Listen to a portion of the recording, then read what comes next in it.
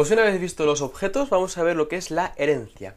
La herencia consiste en crear los objetos que tengan las mismas características que unos objetos padres, más otras diferentes. Es igual que sucede como en la vida real, ¿no? Así que si, por ejemplo, eh, me he creado aquí la clase tren, y este tren pues tiene maquinista y tiene antigüedad y tienes vagones con sus pasajeros, quizás si yo ahora me creo, por ejemplo, un tren de lujo, que tenga un bar, que tenga un camarero, bueno, pues entonces ¿qué hago? Me tengo que crear otra vez todas las características de los trenes porque el tren de lujo también tiene maquinista, también tiene vagones, también tiene antigüedad y tengo que crearme dos clases diferentes. No, simplemente me creo la clase tren y luego la clase lujo que recibe todo lo del tren más lo que aparte tenga esa misma. Eso es la herencia, ¿ok?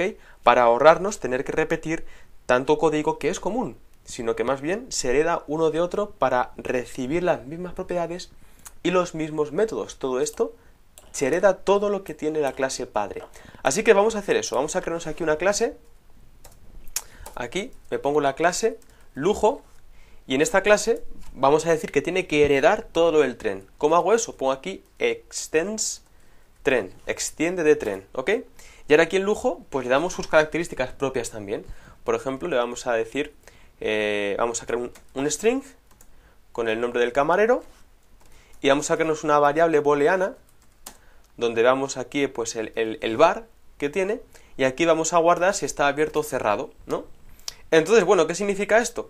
Que de nuevo aquí me creo el constructor de la clase lujo, así que aquí le voy a poner el public lujo y vamos a decirle que si no se da ningún dato, pues el camarero sea anónimo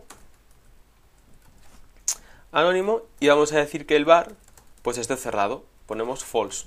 Eso significa que el bar esté cerrado. O también lo que podemos hacer es crearnos un constructor donde aquí le pasemos los datos. Este va a recibir un string con el nombre del camarero y va a recibir una booleana con el estado del bar. Entonces aquí el camarero le vamos a pasar el nombre que hemos dado y en bar le vamos a pasar el estado que nos diga si está abierto o cerrado. ¿Ok?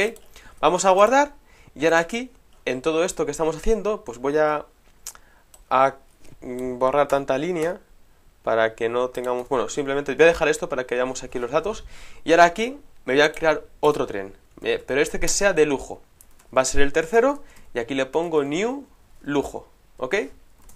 Bueno, si yo ahora aquí muestro, van a ver como aquí, al final del todo, vamos a, a decir que nos muestre, por ejemplo, eh, el nombre del, camarero. Camarero. El nombre del camarero va a ser anónimo. Si yo aquí a lujo le paso el camarero y le diga pues Felipe y le vamos a decir que el bar esté abierto, así que le ponemos un true. Ahora cuando lanzo, aquí me dice que el camarero se llama Felipe, ¿vieron? Y lo mismo que yo puedo acceder a las características de, de aquí, del, de lujo, también puedo acceder a las características de más antes del tren, de modo que yo aquí ahora, por ejemplo, puedo consultar la capacidad que va a tener ese tren en ese estado. Me dice que cero, ¿ven? Y yo aquí igualmente le puedo meter pasajeros. Aquí al tercero también le puedo meter pasajeros porque todos los métodos del primero del tren los hereda, ¿ven? Al tercero le he metido 5 en el, en el vagón con índice 1 y me dice que la reserva se ha completado porque las mismas funciones que hemos creado para la clase padre han sido heredadas por el hijo, más aparte las propias que pueda tener. Yo aquí puedo crear una clase propia que diga eh, cambiar bar o estado del bar, status bar, ¿no?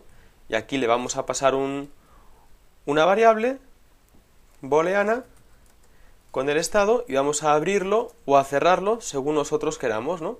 Entonces, lo que vamos a poner aquí, que el bar sea igual a estado, y aquí ahora preguntamos if bar igual a true, vamos a mostrar por, pantalla, el bar ha sido abierto, el bar está abierto,